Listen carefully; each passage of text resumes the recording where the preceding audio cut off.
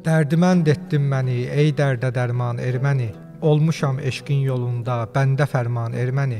Böyük şair İmadəddin Nəsiminin erməni rədifli qəzəli olduğunu bilirdiniz? Bu qəzəl Nəsiminin türk dilli divanına daxil edilmişdir.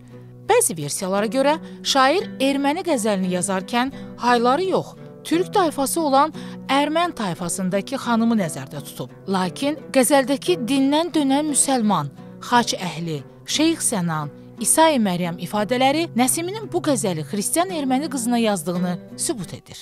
Nə pəri, nə Adəmi bu şəkillə mən görmədim. Cənnəti huri misən, yoxsa ki rizvan erməni? Harda bir xaç əhli varsa, hamısını seyr eylədim. Bulmadım mən sən təki bir canı canan erməni. Bir sual etdi Nəsimi sən büti mehparədən, lütf ilə söyləsə gər, eyləli xəndan erməni.